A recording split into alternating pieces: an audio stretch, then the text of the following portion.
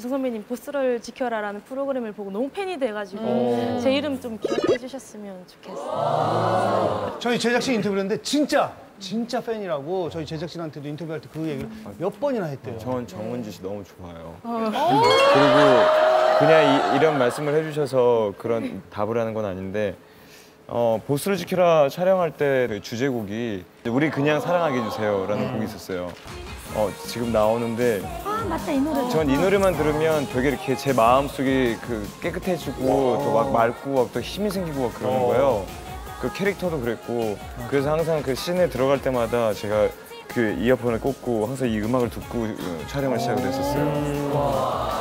언젠가 이제 그 싱가포르에 마마 시상식이라는 어떤 그 가수분들 시상식에 수상자로 이렇게 갔었어요. 그날 어떤 그 대기실에 그 계단이 있었는데 어, 에이핑크 분들이 이렇게 내려오시다가 저 이렇게 저도 올라가고 와주셨는데 어, 안녕하세요 그랬는데 너무 막 사람들 많이 만나면 사실 다 이렇게 직접 보고 인사하고 싶지만 마음은 또 그렇지 못할 때가 있잖아요 우리가. 그러니까 예예예예예 예, 예, 예 하고 이렇게 올라갔어요. 진짜 몸이 건조. 아니 아니 근데 사실 그걸 어 그런 건 아니었는데 기억나요? 기억나요? 그 당시에 만났던 그 상황?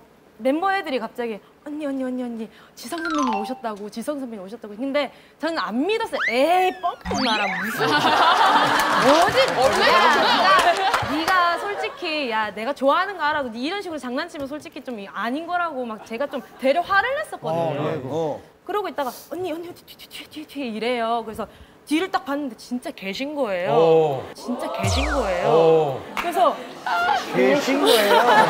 제가 욕하면 들어요. 아니 절대 욕, 욕이 아니에요. 네, 그래서 인사를 드려야 되는데 해야지 해야지 해야지. 제가 너무 얼어가지고 제가 원래 얼굴이 빨개지거나 이런 성격이 잘 아니거든요. 그리고 누구 앞에서 막 이렇게 부끄럼 타고 이러는 성격도 예, 아니에요. 그런 것 같아요. 그런 게 아닐 것 같아요. 아, 진짜 워낙 네, 활달해서. 그런데 정말 그 순간에 딱 얼어서 아무 말도 못하고 그냥 이렇게 얼어서 그냥 얼굴만 뵙고 어, 가신다 이렇게 된 거예요. 그랬는데 너무 후회가 되는 거예요. 좀, 아, 죄송스럽게도 하고 인사 드렸어야 되는데 혹시 아, 혹시 기억 속에 안 좋게 남았을까 봐 좀 신경이 많이 쓰였어요. 인사 안 하는 후배로 기억될까 봐. 네. 우리 정식으로 인사하죠.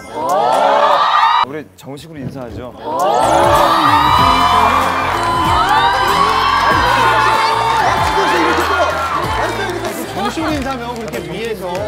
선배님을 이렇게 내려다보면서 인사하면 안 돼. 밑으로 내려와서. 좀 나오셔서 정식 인사. 아 저희 또 정식 인사 그 룰이 있습니다. 자. 네. 서로 이렇게 손을 마주보고 그동안 하고 싶었던 얘기를 인사를 하시고 나서 마지막에 이제 후배로서 이렇게 따뜻한 포옹 한번 해주시면 너무 감사해요. 그게 정식 인사죠. 아니면 뭐 뒷포옹을 해주시던가. 손을 이렇게 마주 잡고 마주보세요. 눈 마주 보고. 눈 마지막으로 눈 눈 마지막. 마주보고. 은지야 해라. 은지야 할 수 있어 은지. 가야 돼. 은지야 봐라 할 또 언제? 은지야 또 오지 말고. 그때 인사 못해서 미안해. 아, 자. 그리고 정말 이런 게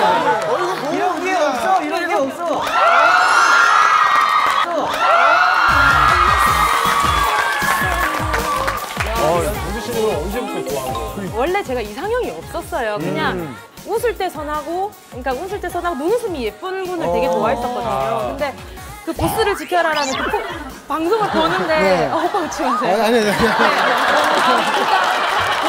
그러니까 옆에 있었는데. 아 알겠습니다. 예. 보는데 더 제가 원래 덧니 있는 분을 되게 좋아하거든요. 어. 근데 덧니가 없이도 너무 웃음이 매력 적이신 거예요. 그래서 보고 제가 거기 진짜 거짓말 안 하고 TV가 있으면 앞에 가가지고 이러고 보고 있었어요. 그러니까 멤버 애들이 언니 지성이라는 그 배우분인데 언니 이상형이냐고. 어, 이상형 이상형 됐다고 지금 이상형 됐다고. 그 뒤로는 애들이 맨날 놀려요. 원래 그런 성격이 아니니까.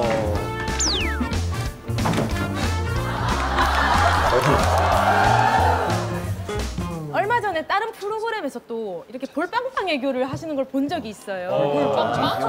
이렇게 있는데 그, 어, 실제로 혹시 실례가 안 된다면 보여주실 수 있는? 네. 그게 이제 그게 참. 아, 저기 이제 제가 이제 뉴아트라는 드라마가 있었어요. 아 맞다 맞다. 그러면서 이제 그때 당시에 저희 어머니한테 제가 이렇게 뭐 이렇게 애교 피거나 아니면 예를 들어 어머니한테 제가 혼나면 제가 이렇게 뭐 이러고 그냥 이제 뭐 할 말 없으니까 뭐 이렇게 볼풍선을 불었었던 게 있었는데 그래서 이제 제 그 습관을 저기 이제 연기하면서 캐릭터를 이렇게 보여줬던 야, 귀여워요, 귀여워요. 어머님이 그래도 진짜 사랑했네. 저는 막 그러면 진짜 더 맞았어요.